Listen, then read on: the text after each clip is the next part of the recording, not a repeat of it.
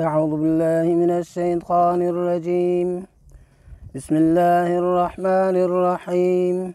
لقد كان لسبع في مسكنهم آية جنتان عن يمين وشمال.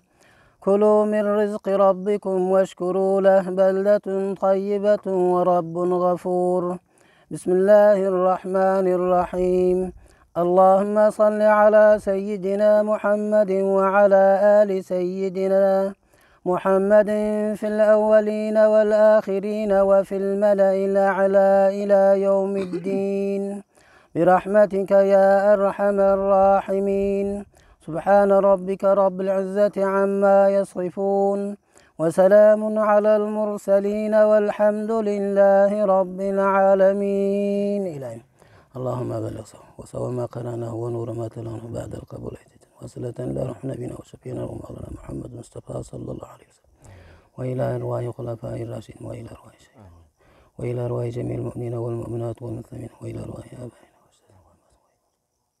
وإلى أرواح لمن قال لا إله إلا الله محمد رسول وإلى أرواح لمن أقبل برحمتك يا أرحم الراحمين.